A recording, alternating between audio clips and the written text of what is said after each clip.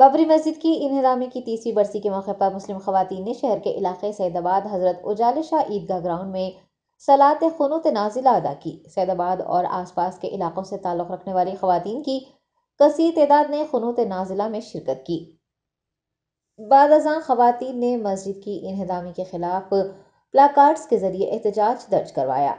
इस मौके पर पुलिस ने बतौर एहतियात सैदाबाद और अतराफ व अकनाफ में सख्त तरीन हिफाजती इकदाम किए थे।